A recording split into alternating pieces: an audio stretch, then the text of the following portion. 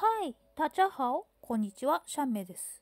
本日はメモリア第4章、海底のメモリアの11話見ていきたいと思います。これ上に出てないということは、ひょっとしてここまで、いや、そんなこともないか。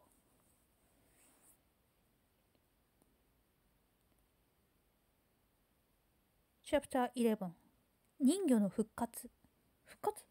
どちら？ヤドカリくんだ。ヤドカリさん。もっともっと早くよ。わーい。すすごい。カーラ姫が歌えば歌うほどスピードが上がる。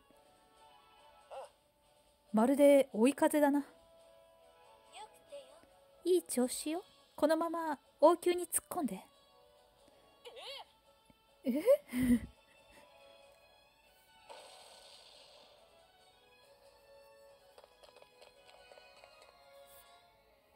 魔女はどこ？来た。神代さん。ひひひ思ったより遅いお月だね。神代アラン少尉も一緒なのか？ああ魔女と一緒にあんたらを待ってるよ。ついてきな。今度は騙したりしないからさ。やっぱり騙してたのね可愛い顔してひどい子だわ。そうかいや全然可愛くないってば。なねリーズ姫どうするの？えもちろん行くわ。決着をつけなくてはね。あこの方が魔女さん。あ美人。美人。キアスティーネさん。時間ちょうどだなカミロは遅いと言ったようだがたった今飛躍が完成したところだ。みんなはどこ？王宮を支配するために私に呪いをかけたの？あなたのお家を壊したのはカーだよ。仕返しするならカーダにすればいいじゃないの。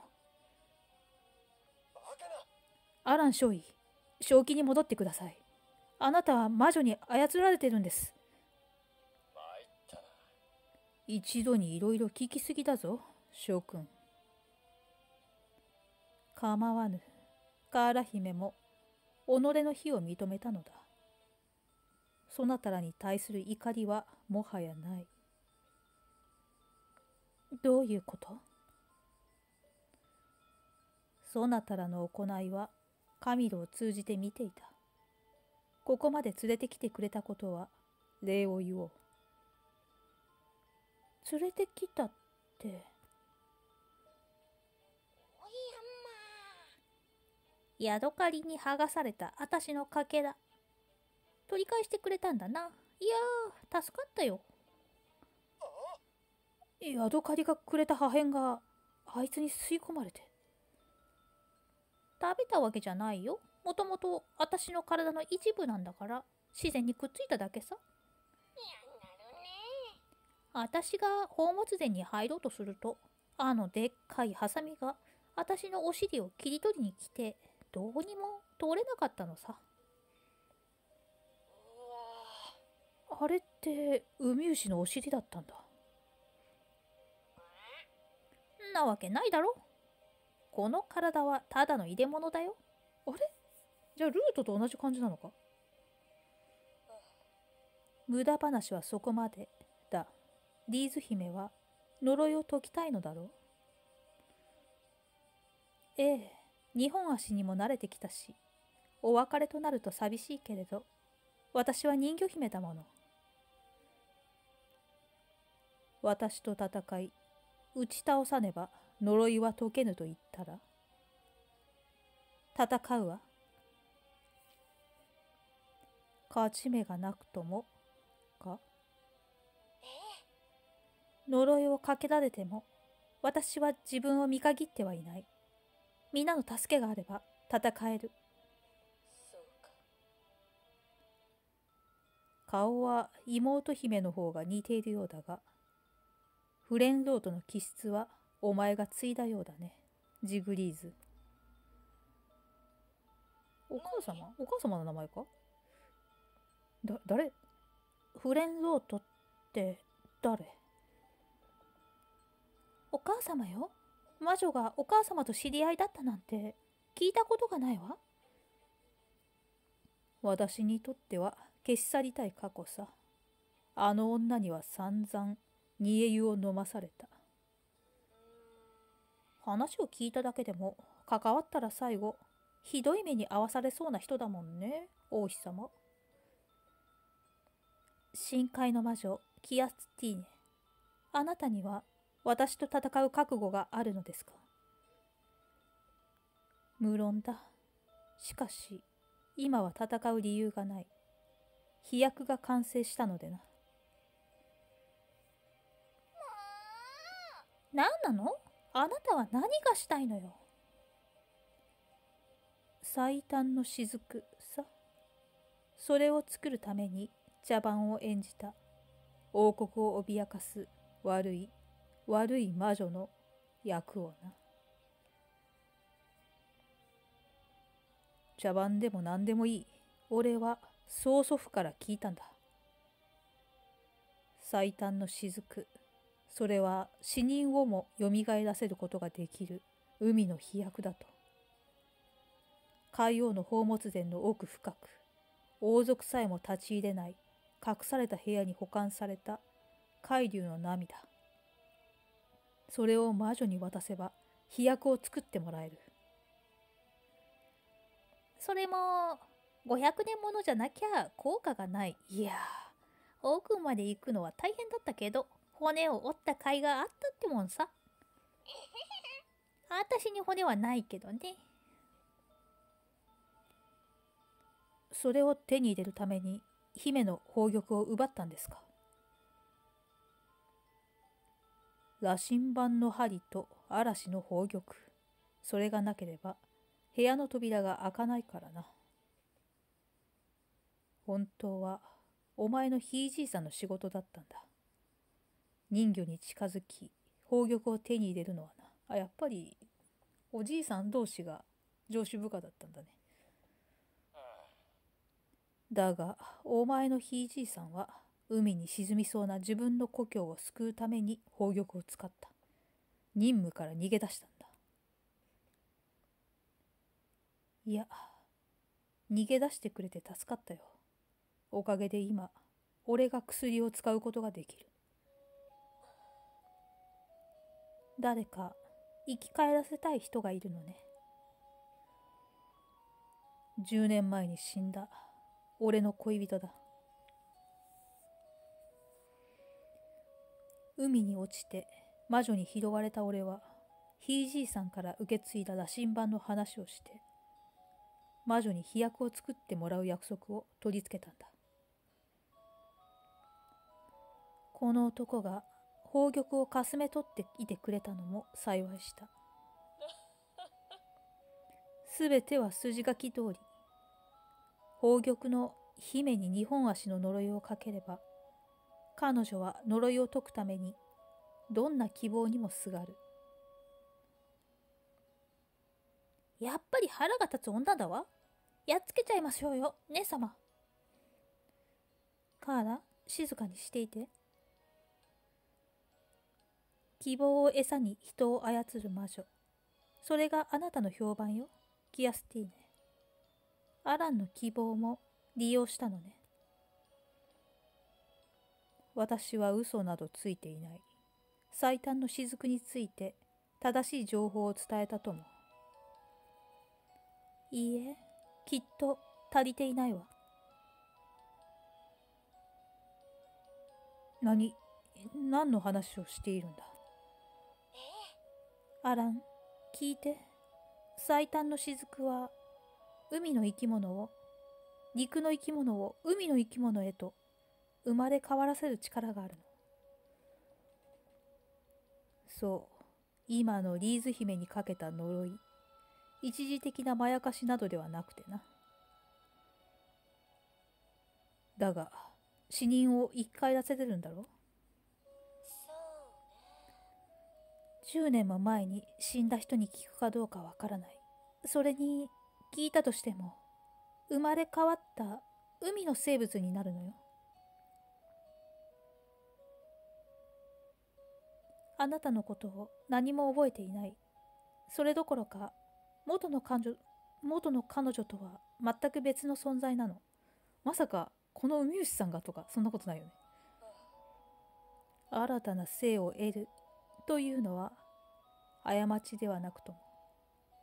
過ちではないさ。100年前の死骸だろうと、問題なく聞くとも。ただし、もしお前の恋人の魂が生まれ変わっていれば、魂のないうつろな肉の人形が生まれるだけだがね。バカ言えそ、そんなことは聞いていない。あんたが聞かなかったんだよ、アラン。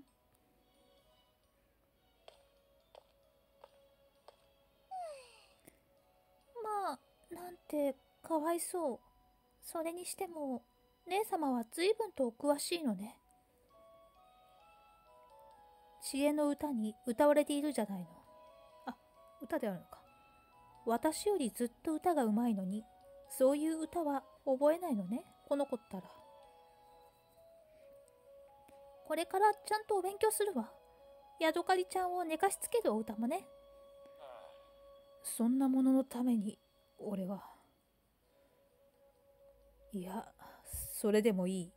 どんな形でも、彼女が生き返ってくれるなら。魔女の話を聞いたでしょ？魂のないうつろな人形。あなたのことを知らない海の生き物。それを彼女だと思い込んで生きることがアラン少尉の幸せなんですか？お前にはわからないよ。カーラにもわかんないわ。そん、わかんないけど。思い出の中の彼女をそんな姿に変えるのは残酷よ。そう私もレイフにもう一度会いたい。だけれど、彼を変えてしまうことなど望みません。本当にそれで良いのですか？いいわけがないだろう。俺は半年の後悔に出て、寂しいまま死んでしまった彼女に別れを言いたかった。それだけなんだ。はは、結局俺は自分のことしか考えていなかったんだな。少尉。俺の薬はリーズ姫が使ってくれ。人間に変えられてしまった人魚が飲む分には何の問題もないだろえ、ええ。人魚に戻る効果しか発揮されないはずです。それならよかった。これって丸く収まった感じかしら？あの、いい話っぽくまとまりかけてるところなんだけど。どうした？魔女、逃げちゃったよ。残りの薬と姫様の宝玉を持って。あ盛り上がってるところだし、邪魔しちゃ悪いかなって言わなかったんだけどね。言った方がよかった。な、な、なんですって？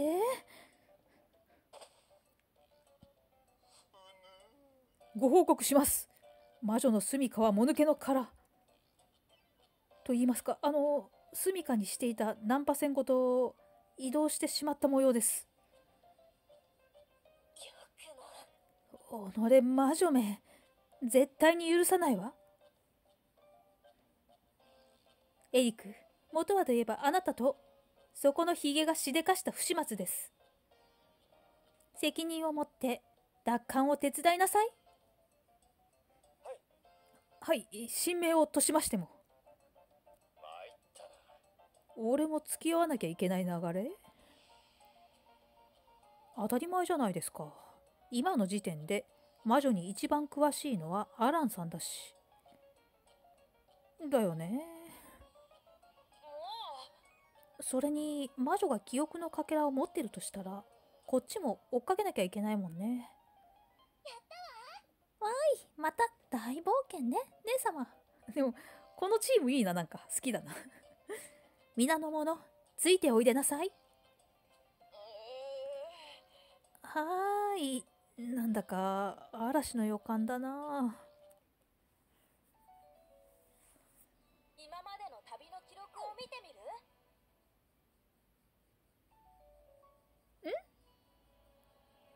まででいい？え？続きはなんか完結してない感じするけど。とりあえずクエストやっとこうか。今日はどこに行きたいの？メインクエストの19と20をやっておくかな。順番大丈夫かな？いやちょっと変えておくかこうか。あ違う違う違う。えっと。こう。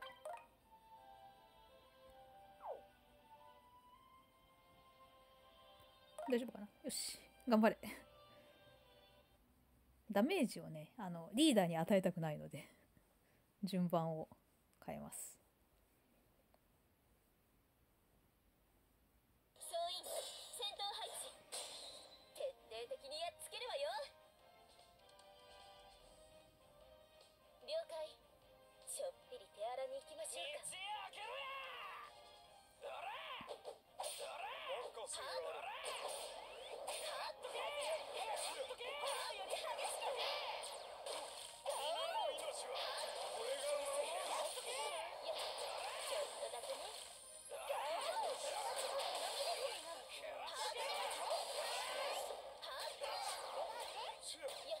さあみんな頑張れ。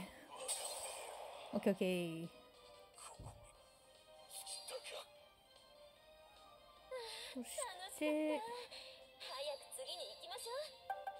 次に行きますか。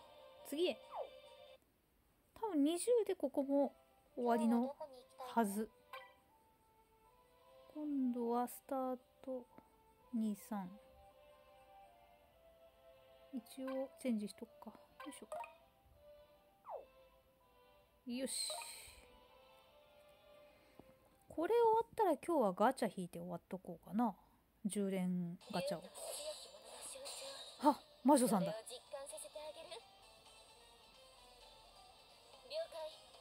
魔女さんもガチャで出るのかな？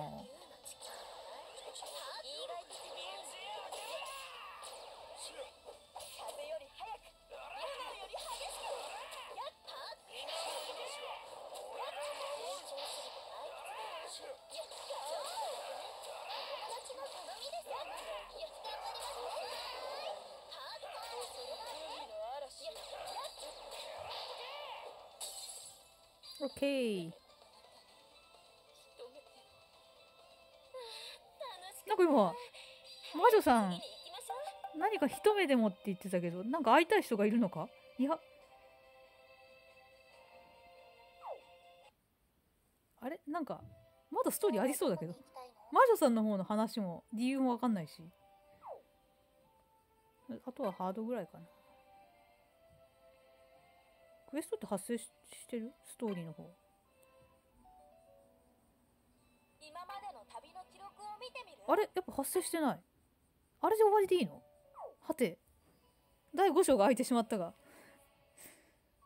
あおはい。じゃあガガチャ引いとこうか。あれ海底の話はあれで噛んでよかった。なんかすごいまだありそうな雰囲気がしたけど。じゃあ10連いきますか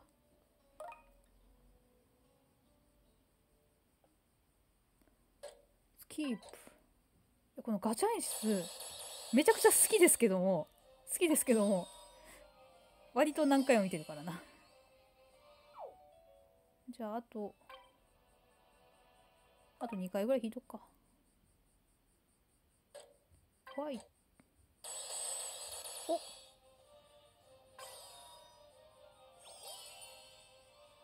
もう一回引く。